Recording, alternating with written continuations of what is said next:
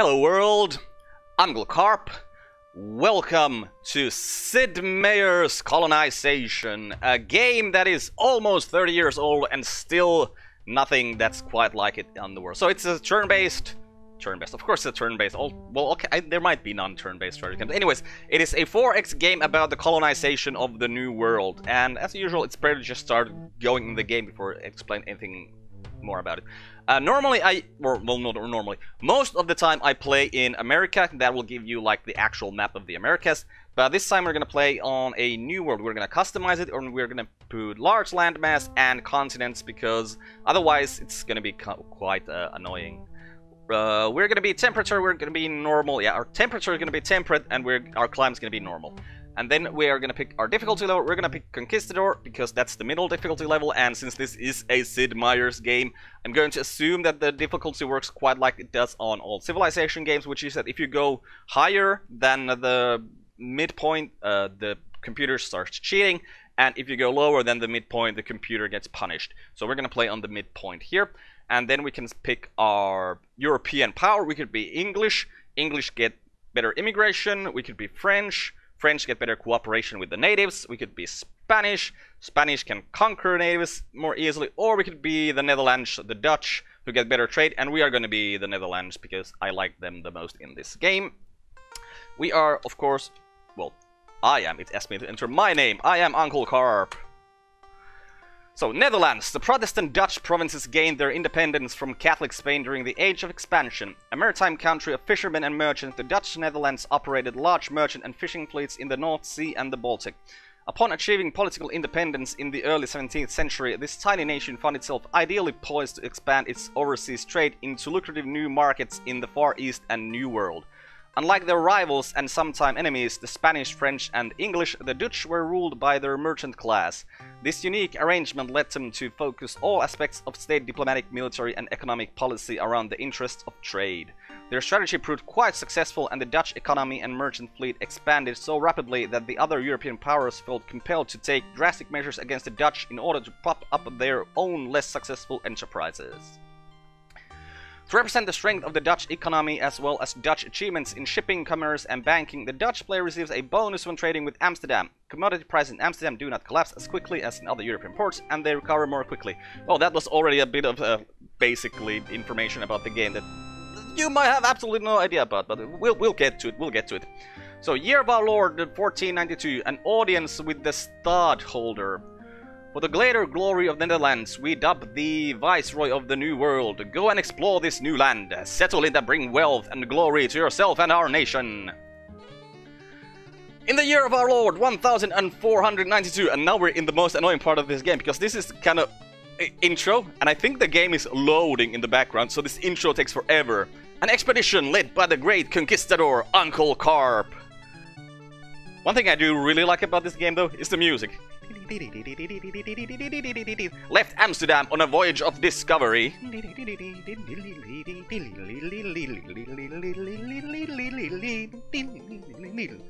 Commissioned and blessed by the stadtholder of the Netherlands.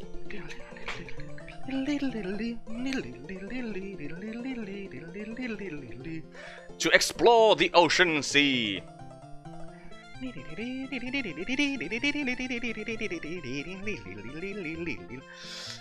To find uncharted lands. Oh, now it actually loaded, so we didn't have to. Okay, so basic 4x things. We got a unit here. It's a boat. The boat has uh, another uh, two other units in here. We can see that this unit is a warrior unit or a soldier unit because he's got a weapon here, and we can see that this guy is a pioneer unit because he's got this pickaxe here. I mean, because I, I, just know what the, their sprites looks like, so that's why I know that that's what they are. But also, one thing we can notice here is that they are both kind of grayish. So as soon as we make landfall, we'll talk about that a bit more. Okay, okay, there's some land. So let's just... Ooh, Discovery of the New World. So we are gonna call this uh, call this new land. We're gonna call it Carponia.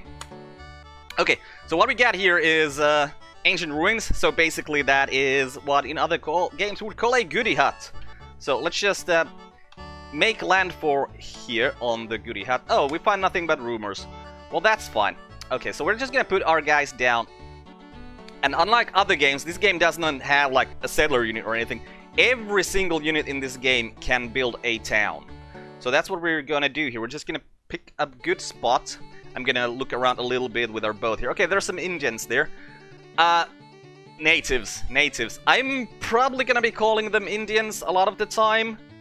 But that that is meant as in no way as uh, disrespectful. It's just uh, I think this game occasionally called no. I think this game actually might call them natives. Actually, let's look at because we have a lot of reports here.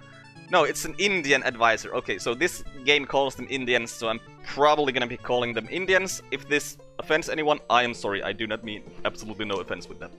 Okay, so we got a colonist here with 100 tools, but let's what we're gonna do here. Okay, let's have this guy here. This is our colonist. Uh, we can have him if we just go to orders here. Build a colony with B. So we build a colony. We're gonna call this uh, Carp City. And uh, that's our first colony. So let's have a look at the colony screen here. So on the colony screen, we got this here, which is uh, how many squares? well, this is eight squares we can work on, and the square in which we personally are. Now, if we look at our guy here, click on him, we can see that this is all the things he can do. Well, they, they are all here at the bottom. These are all the resources in this game. So we can have him collect any of these resources. And I can see that some here have they have like a number slash a number. So for instance, uh, well, tobacco here is one out of oh, zero out of one. That means that on this particular square, we can grow zero tobacco, but there is a square here where we can grow one tobacco. Okay, so uh, that's what these numbers mean. And these uh, other ones here, like behind, like that are below here, like three rum. Well, that makes us. We got buildings here, so it will work us on a building. We will work here on a building.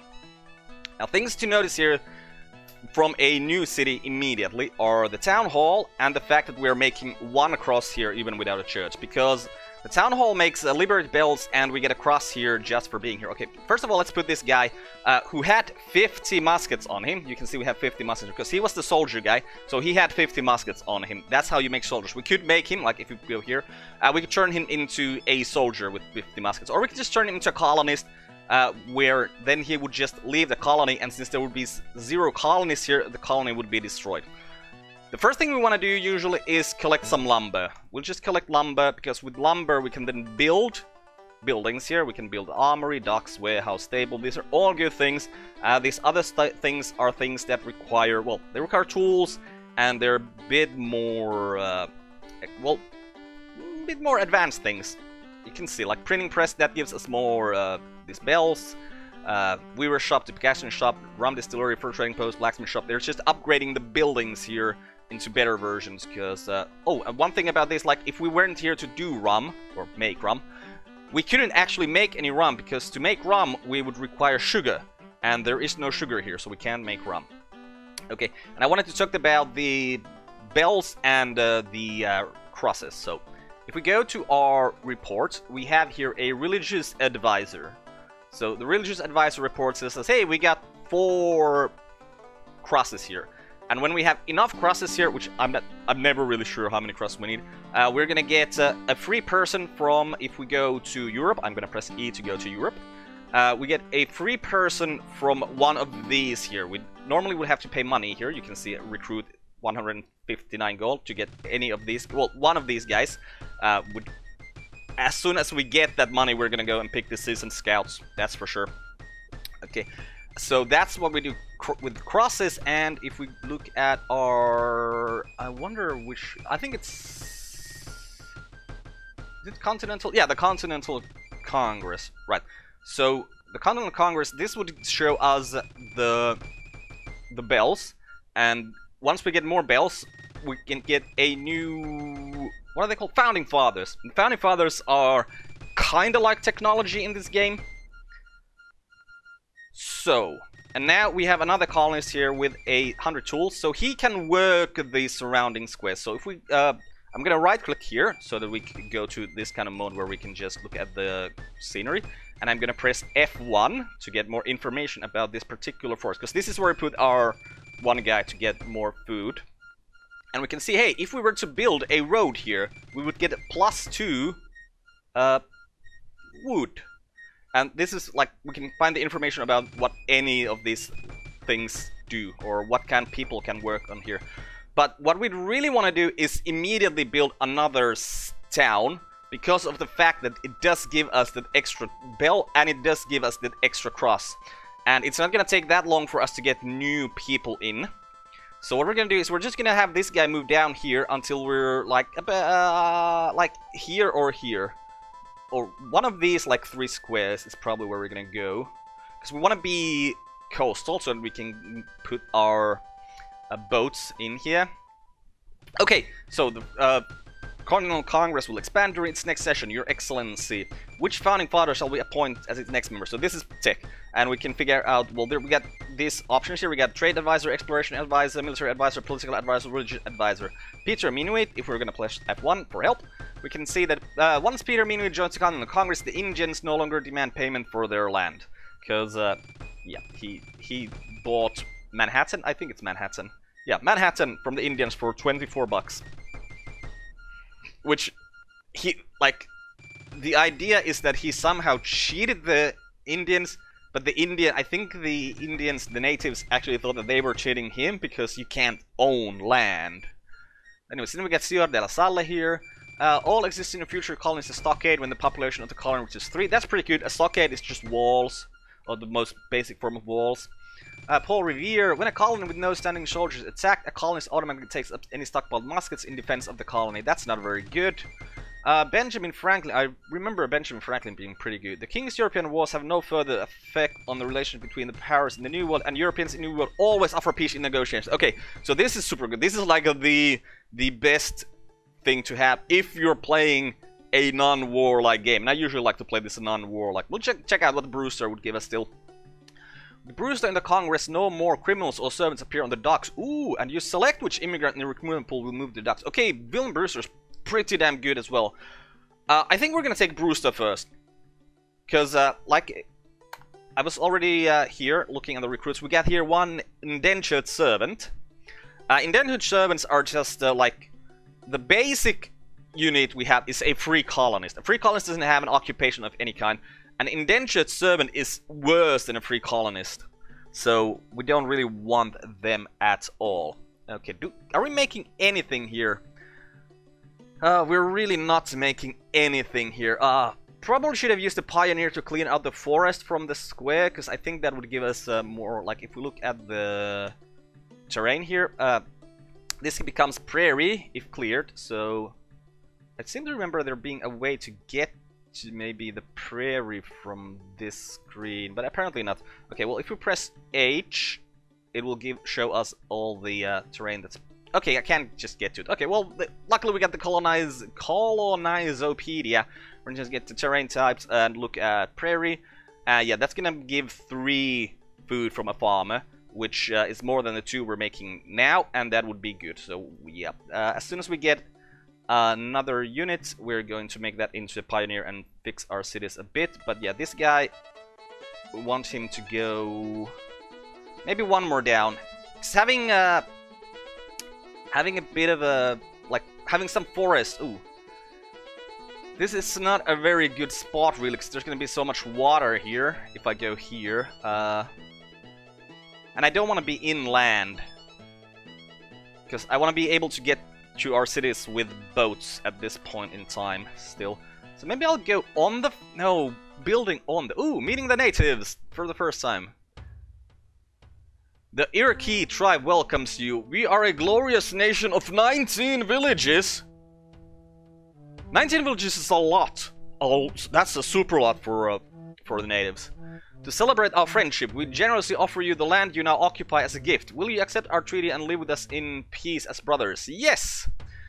The Iroquois welcome peace with our brothers the Dutch. Let us smoke a peace pipe to celebrate our perpetual friendship. We hope you will soon visit Iroquois villages to share knowledge with us, and that you will send your wagon trains to trade with us. Yeah, we're, we're gonna do that pretty soon. I Oh! That's some Spanish people. That's it's never really good when you see Spanish people around. Oh! Oh, we got a ruin there. Okay. Now, what am I gonna get if I build on this particular square. I think we're gonna get some ore from that. That's plains. Plains is super good for food. Okay, I just said that I want our cities to be inland, or not to be inland, but I think I'm gonna make an inland city right here. Oh, that feels like such a stupid idea in the beginning, but... Hey, expert silver miner now available in Amsterdam. Okay, that's actually good. Okay, let's send this... Uh, I pressed G for go to, and go to Amsterdam here. So we're gonna build here. I'm gonna press B and build. Uh, doesn't have access to the ocean. Yes, I know that this doesn't have access to the ocean. I know exactly what I'm doing. This one we're gonna call... Mm, you know what? I'm just gonna I'm just gonna let them be named what they are. Our first city is gonna be Carp City, and everything else is just gonna be what the game wants me to call it. Okay. Now, how much? Okay, you can find six slumber from here. That's good. Oh, zero silver. Oh, but I think that the expert silver miner can still just find silver. Okay, we put you here, and then we push here for six lumber. It'll go where the six lumber is without me having to try to figure it out. Okay. Okay, okay, okay, okay. So next turn, and our ship is gonna head to Europe. We're just gonna go for next turn by pressing enter. Oh man, I really maybe should have taken something to sell, but like we got 12 furs here, that's not gonna make any money. But yeah, oh, didn't really mean to go here, but uh, we were, like this thing was on top of that, so that's why it went there. And I think we're gonna be, yeah, we're in Europe now. But yeah, we don't have any money, I'd really, really like to recruit that scout. Oh, an expert lumberjacks as well. Oh, and what so what we can do here, we can recruit one of ra this random pile with a very small amount of money. We can purchase uh, artillery or new boats. They're just gonna cost money. Or we can actually train people. You can see training people is rather more expensive than just getting... We're gonna be starting to train them at some point. But yeah, we're gonna need a bit of money for that. Okay, let's take this silver miner and get them to Europe. And... Okay. One thing I'm really starting to think or I'm starting to rethink here is this guy's saying lumber. I don't really think we need lumber. I'm just gonna make him into a farmer so he can make food. Because once the food reaches... What's the limit? I don't remember the limit, but there's like a limit that once the food reaches that, uh, we are going to get a new person in there. Hey, the Iroquois tribes is pleased to see the progress of our neighbors at Fort Orange. We have come to offer you six cotton. Woohoo! Six cotton. Nice. Oh, more six cotton. Nice. So now we got 12 cotton there at least. Which means... Okay, I'm gonna uh, take the silver miner towards Fort Orange here. I'm just gonna make landfall here. And uh, then I'm going to... Yeah, I, we're gonna have to make a little bit of money, so I'm just gonna sell everything that's, like, looks even... Oh, damn it. Didn't really want the turn to end right there, but automatically ended. Because what I want to do is I want to put this guy can you find silver? You can find silver. Okay, if I have you find silver, and then I'm gonna make you into a pioneer. You're gonna want one silver per turn, which is not very useful. So yeah, let's just uh, try to increase our amount of people here. Right, and yeah, we're just gonna go sell this fur. It's not gonna be worth much, but it's gonna be worth something. And just uh, head to Amsterdam. Okay, Price of furs has risen. Well, that's nice. Oh, and we get... Oh, just the indentured servant. Well, at least we get a reason to go to where we were going there. Okay, let's check out this spot. So, farmer plow river gives more food. So we're going to have this guy. Oh, where are you? Here you are. Activate. No, no changes. Okay. Right, how do I activate you? Right, I gotta click on there. So we're gonna go here and we're gonna plow this location. Cargo from the New World! Oh yeah, we brought some furs. Woohoo! Got a hundred bucks for the furs. Ah, I really don't like indentured servants. Uh, can I actually... Like, if I go to Colonizopedia, will tell me the problems with... Colonist skills yeah, indentured servants. Indentured servants are people decide to come to the New World but who cannot afford to pay their own way. They accordingly put themselves into bondage and agree to work of their passage in the New World. They, like petty criminals, are useful working in the field and mines, but are less productive than the free colonists in manufacturing and processing jobs. But through education or military experience, they can become free colonists. Yes. Now, this is one of the things that some people find problematic in this game, is that that is pretty much the only way that slavery is in any way acknowledged in this game. And that's even not really slavery, so they just the makers of the game just didn't want to put slavery in the game, so they just didn't. Which some people find problematic and kind of like whitewashing of history, but I personally don't really care that much. Because this game is just so good, so... Okay, I think we're gonna go and maybe lumberjack some more. No, we're gonna need food here. Okay, you can... Ah, only two out of two food. Yeah, so just having this guy here for two food is completely worthless because he's just making enough food to survive because every colonist needs two food. Oh, this was not a good spot to put our starting colony in. So what I think I'm gonna do is I'm gonna turn this, uh, yeah, this indentured servant into a soldier. And I'm gonna go scout with him a bit. Hey, 14 first, nice. Now, one of the problems we're gonna have at Fort Orange pretty quickly, because it does not have a port, is that it's gonna be full, well, it's gonna be full of cotton, first of all, because 100 is the limit without a warehouse. So we really would want to find some more people, but... Oh, entering Indian village. Oh, I didn't really mean to do that. I accidentally did that. But yeah, we could trade... Ooh, tools and rum. Even tobacco would be of some value. But we don't make any of that stuff yet. So we can trade with the natives as well. And if we have a scout, we can go and talk to the natives in their village and uh, get some good stuff. They're like uh, secondary goody huts, let's call them.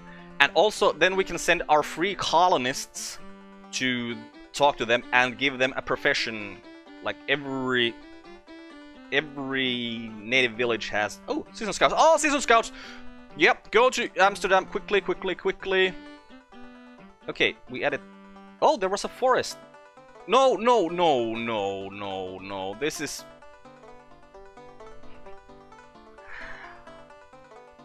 I wasn't paying any attention. Like, there was some kind of like scrub shrubbery here, and the oasis was part of the shrubbery. Oh, it was just... I was explaining too much and not paying enough attention. Well, that's bad. Okay, can we make the desert better for food?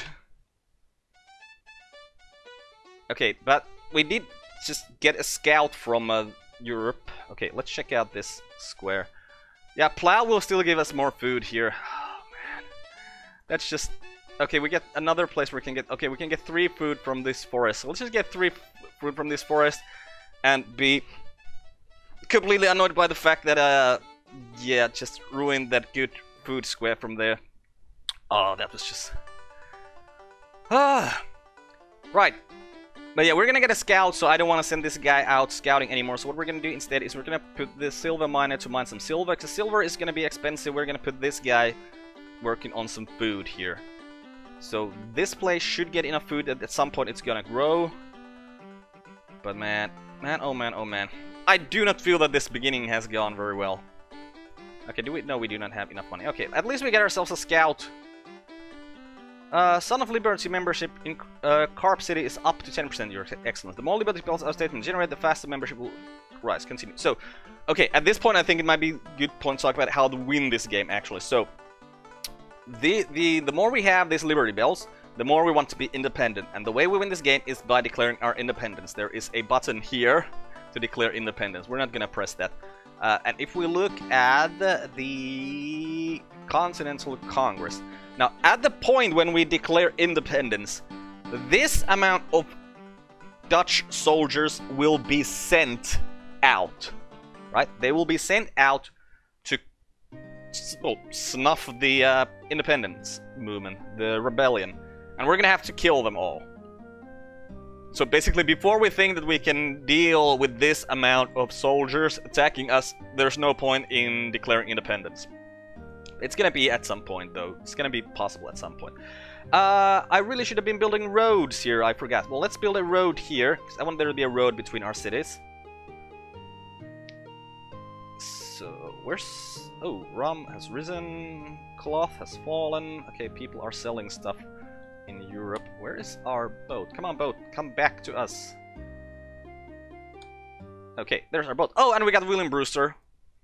Okay, so from now on, we're not ever gonna get any more indentured servants, and we're not gonna get any petty criminals either anymore, uh, which we didn't even see one, even one, but that's good. So, one of the Pilgrim Fathers and framers of the Mayflower Compact, William Brewster served as the first Pilgrim minister and was instrumental in organizing the party that sailed on the Mayflower.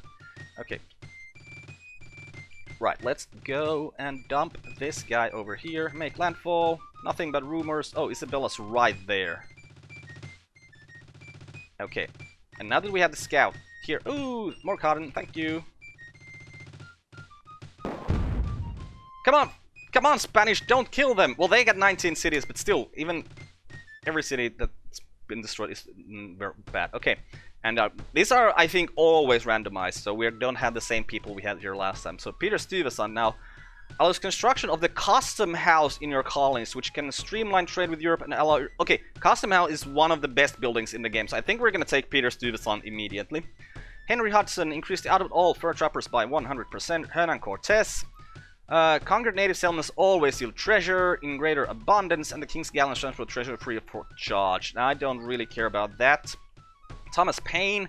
When Paine enters the Continental Congress, liberty bell production in all colonies is increased by value of the current tax rate. Yeah, we really don't want to take him uh, very early. And William Penn, cross production in all colonies increased by 50%. Okay, we're gonna take Peter Stuyvesant. And uh, I want to check out what's our cross production here. Okay, one. Hey, we got four silver. Oh man, I just this feels like this is not going well. But hey, at least now that we got that, uh, yeah, let's just go to Europe. Now that we got this guy, uh, we're gonna be getting some easy money. Okay, let's speak with the chief. Okay, they are master cotton planters over here. And they're gonna tell us tales of nearby lands. That is fine. Actually, it's always pretty good. Get some more Oh, the Spanish are gonna be a problem. Okay, we're gonna go to Carp City here, and we're going to order this guy to clear the forest from Carp City. Okay, uh, let's head to the mountains here, and then over here. Nothing but rumors, unfortunate. Oh, come on! Come on, Spanish, stop killing them!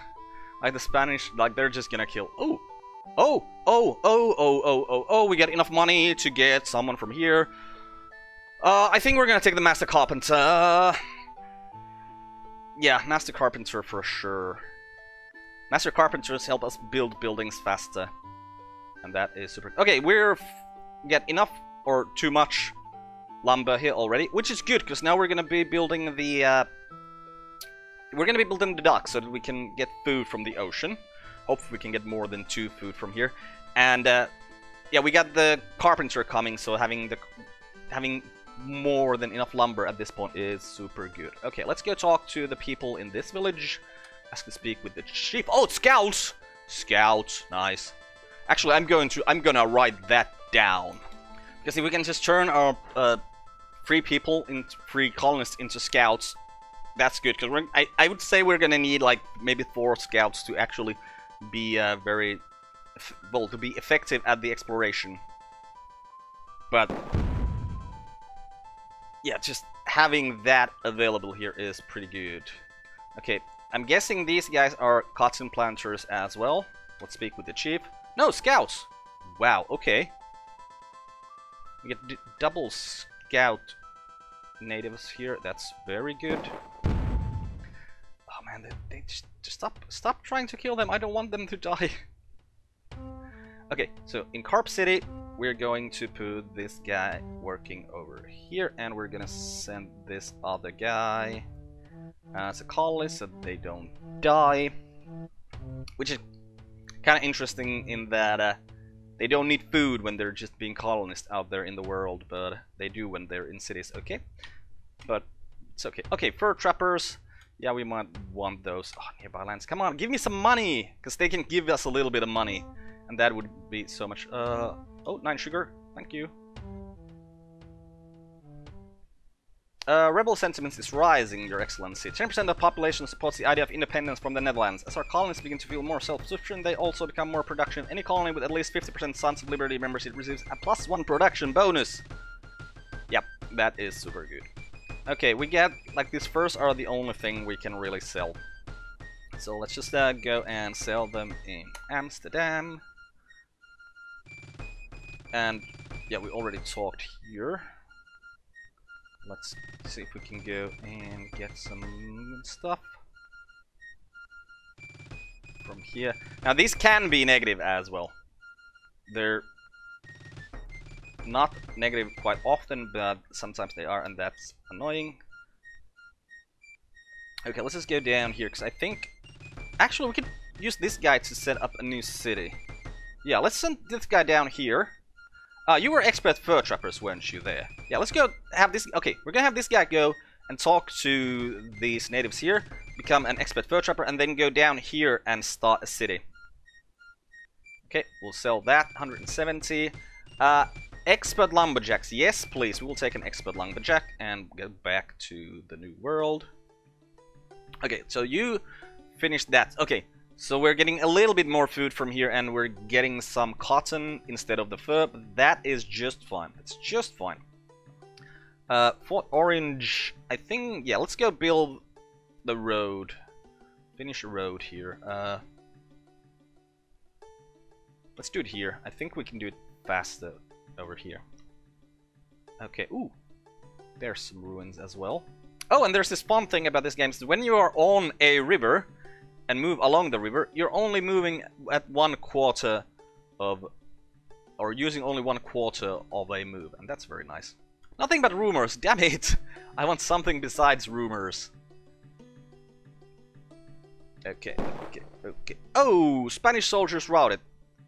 Okay, and this is one of those things here. So, when you're fighting against uh, people, uh, you get weapons. If you just lose the battle, you just lose your weapons. You still get to keep the dude, which is super nice.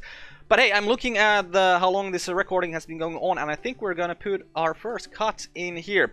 So, since this is a new series, I'm gonna ask uh, the regular thing that most YouTubers ask at the beginning of every, or like at every video, which is, if you're new to the channel, please subscribe. If you like this video, please press the like button and share it with your friends who might like like games that are almost 30 years old.